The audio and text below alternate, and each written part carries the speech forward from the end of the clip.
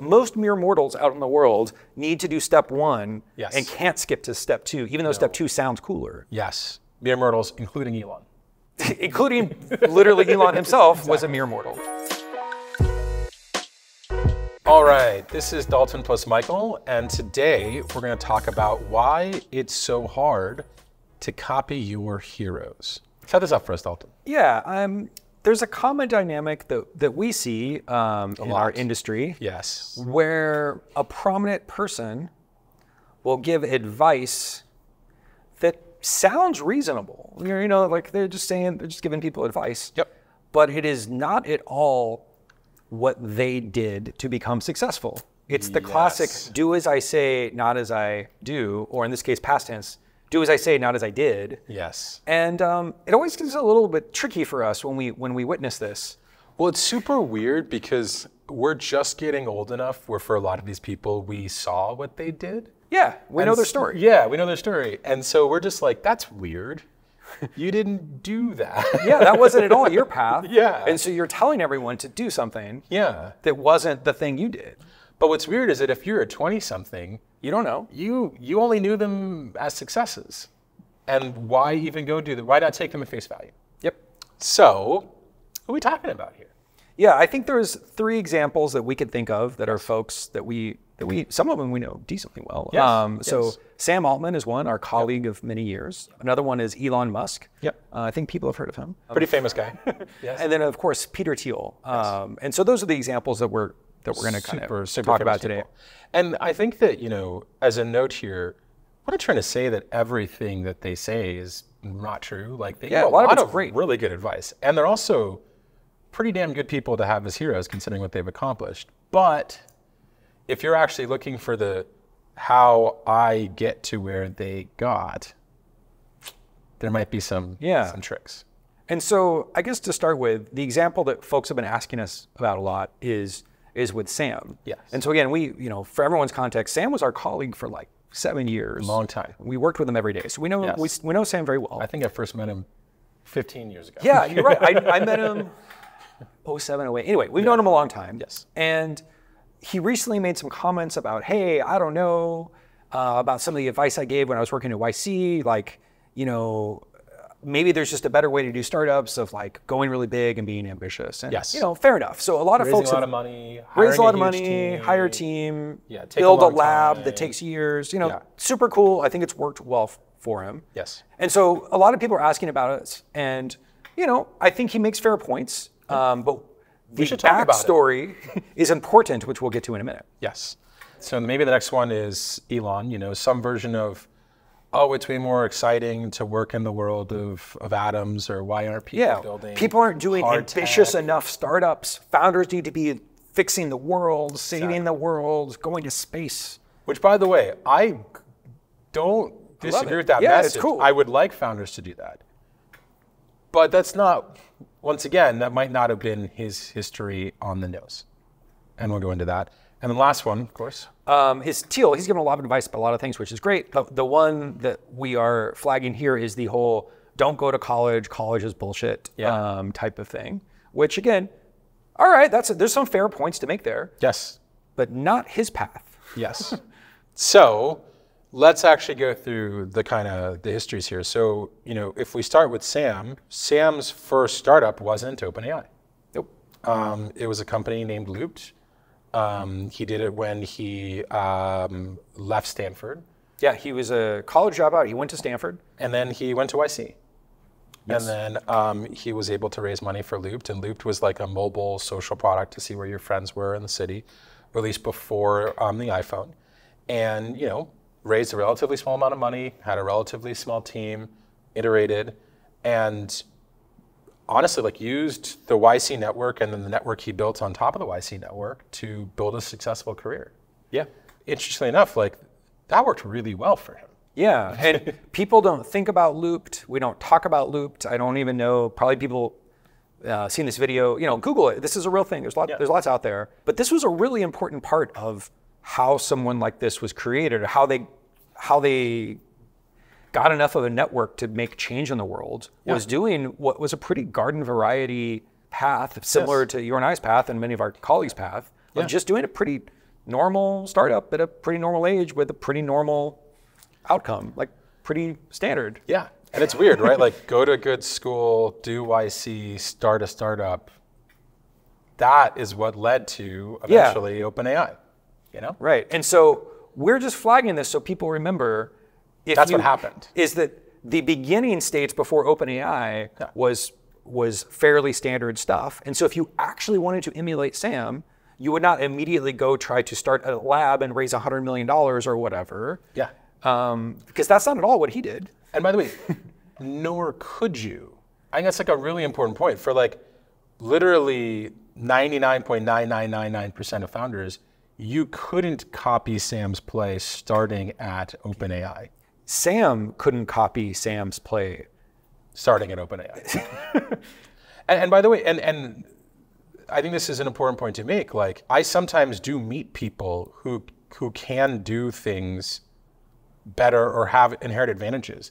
And the advice I give them is very different. Yeah. You know, and so, you know, hey, if you can do this, maybe you should Great. consider it. Yeah. But if you can't, why are we debating whether it's the right move or not? It just Yeah, a lot of the people that were most influenced by his advice of like maybe I should be raising a 100 million are people that are not going to raise 100 million. No. So why So it's kind of like a disservice to these people. Yeah. Right? And so if you're one of the people out there that can or, raise or $100 they, they won't do a startup because they're like, if I can't raise 100 million, it's not. Why worth even bother? And It's just Yeah. like that's not that's not real. All right, so the next one is Elon. You, you're familiar with this story. Yeah, so um, I actually heard the story from Elon verbatim. I, I met him before, and so I'll, I'll tell you what he told me about his life story. And again, perhaps he is an unreliable narrator about his own life.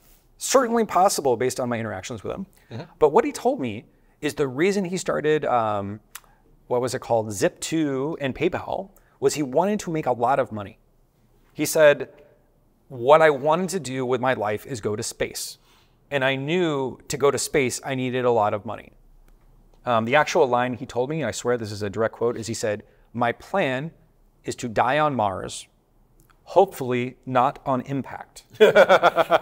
And I can tell he uses that line a lot. It's a laugh line. yes, I've, I've, I think he said this in other interviews, but that's the line he told me. Yes. And he was like, Look, when I came to the US, I came to Silicon Valley, it was the dot com boom, and I just knew I needed money. And so I just was like, How can I get money fast? Yes.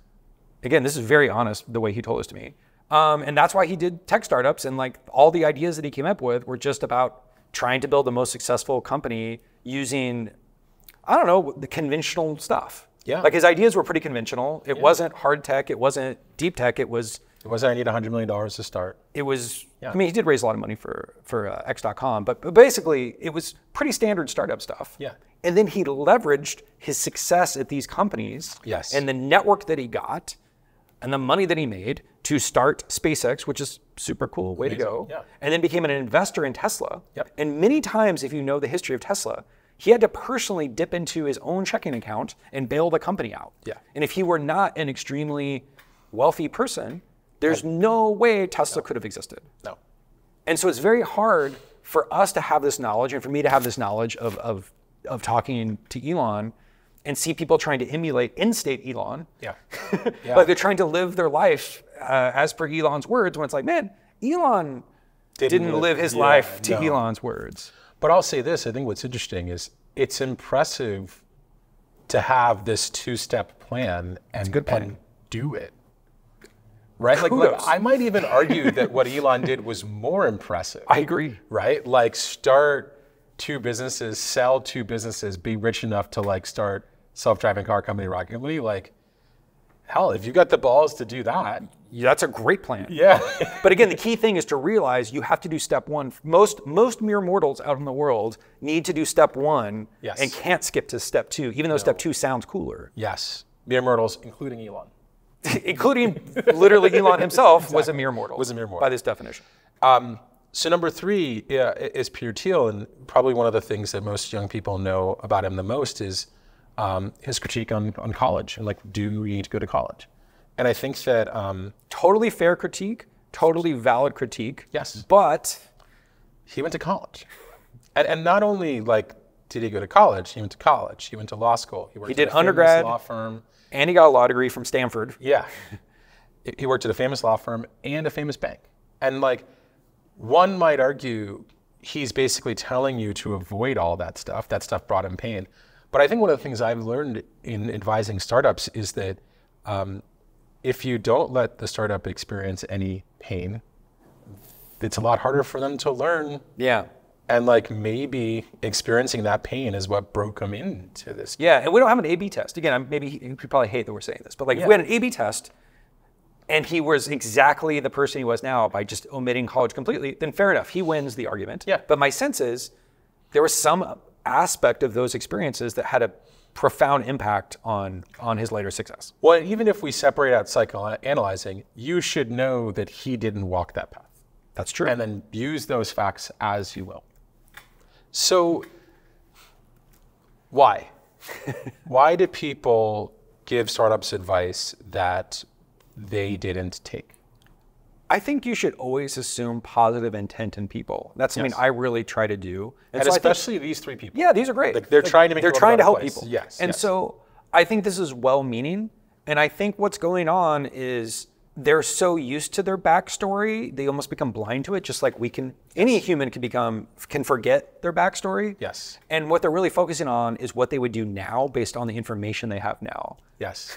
Well, I, I, I want to say that more specifically. I almost think a lot of this advice is advice that they wish they could go back in time and tell themselves. Yep. right? Like, I think Sam is one of the best fundraisers ever. I wonder if he had tried to raise more money sooner in his career to do a bigger thing, if there was a moment where he could have gotten that done before OpenAI, Yeah, probably. probably. Right? Um, ditto with Yeah, remember he was working on nuclear energy stuff for a while in like 2013. and, and he was at YC for a while. He didn't. He probably could have left YC earlier, right?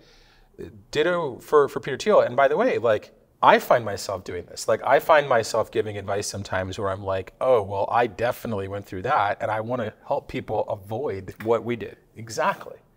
And so I think it's all good intent, but I think that what's tricky is that if you're not digging for the facts, you don't know what really happened. Yep. So how do we avoid this at YC? Because you know Yeah. we all did so- startups. We have our own so- scars. Exactly. We are self-aware, and we Yeah. we actually try. Someone can make a video about us about the same topic, right? And and so one of the things that we try to do with companies in the batch at the beginning of the batch is we all tell our own stories about Yes. our whole backstory, what we did before we started our Yes. companies, Everything we screwed up. everything we screwed up. I think the government had to ban it because we were ruining their internet. Justin says, I'm going to strap a camera to my head and broadcast my life 24 7 on the internet. And Paul Graham says, I will give you $50,000 just to see what happens. so we do what every good Yale student does, and we email MIT. We're really honest, and I actually think it helps people get to know us, to contextualize us as humans, Yeah. um, to know our whole story. And I, yeah, I think it really helps And a to lot. know how many mistakes you can make and still do something interesting. Yeah. And so I think it's good to actually hear before you um, cherry pick bits and pieces of people's advice. It's good to kind of like a fuller Yeah. Yes. Perspective on their whole thing. Yes. yeah. I think it's helpful. Yes, And I- even even us, like I think if people knew more about us that were watching these videos, Yeah. it probably would add some nuance to what we say in these in these videos. 100%. Right? 100%. Um, I think the second thing is, and you made this point, I think we think a lot about what would we tell people we were really close to? What would we tell our kids? What would we tell our friends' kids? Like, when it become like when you can personalize it and make it real in your life, suddenly Yeah. you're a little bit more maybe conservative or you're a little bit more real Yeah. and you can be a little bit more experimental. you know, it's like, yeah, I'm thinking I'm going to tell my kids to go to college. Yeah, Like, you exactly. know, And like, I didn't really like college. And I actually wasn't terribly impressed with my school. I went to Yale. I wasn't terribly impressed. But if you look at the facts, it's where I met my co-founders. Without them, I wouldn't be here right now. So if that's the only thing Yale did for me, worth it. It changed your life. yeah, yeah. If the only thing it did for me was changing my life. Yeah. well, you know. What have you done for me lately, though? But yeah, imagine we had an A/B test where you didn't go to college. Hey, man, I don't think you'd be No, here. dude. I would not be here. Absolutely not. Yeah. So I'm probably gonna tell them to go to college. risk, risk it. you know? yeah. And again, I feel I feel the same way. I got kids too, and I actually really try to give them. I try to give founders or the people in these videos. I try to say the same stuff I would just say to my kids. Yes. like and not have a oh let's throw in a troll opinion here, Michael, just for for the hell of it. Like Well, it's funny because PG always said this too, which is just like it's just easier to tell the truth, like what you really think, than to think up the like. yeah, because you got to keep all the facts straight. Yeah, it's really hard. hard, right? But Yeah. like, yeah, if I tell this to my kids, probably it's good for you too. And then I think the last one, and this is one that is maybe hard for people to understand, is that you know when you're watching videos or reading our content, this is we can't personalize it for you, right? Like you're we're making this from Yeah, we're just talking to the void. We don't know who's actually watching this. But when we do office hours with companies, everything is personal. We read their application, we interviewed them, we accepted them to YC. Yes. And so the advice we give is super personalized. Yes. And it's often the case that we will know something about someone's background. Yes. That we can integrate into Yes. the advice that we give them. And and I'll say that like more explicitly, we often contradict, or or it looks like we're contradicting kind of standard YC advice given someone's specific situation. Now, I'd say like on average, we're probably telling them 80% of the same stuff. And, and so, an example, if someone was a multi-time founder, like Oh, say yeah, Sam, and someone was known to be a good investor, and we had the opinion that they were a good investor, Yeah. maybe following the playbook that he's following at OpenAI is exactly right. And we, 100%. and I completely think it's smart. He should do that. Well, and let's be clear, we've had those people do YC, and Yeah. we've given them different advice, and we have said, hey, maybe it makes sense to raise more money, and like, da, da, da, da. And yeah, if you can put millions of your own money into your own company, you Boom. should totally do that. Yeah. That doesn't apply to most people. Yes. and so I think this is what's important. I think one of the ways that we try to kind of control ourselves is figure out what the personal advantages are of every founder we work with and try to figure out how to help them exploit their advantages. And I think it's really, really hard to do that in general. Yeah. So, um, shout out to, of course, Sam and Elon and Peter. They've made a huge impact. And, you know, And are better fundraisers than us by a, a thousand. Infinite They're really good at fundraising. yes. So Um, kudos to them. But if you want to be the next one of them, take some time to learn about them and, and their histories. And, and I think it'd be really helpful. All right. Great bunch. Thank you.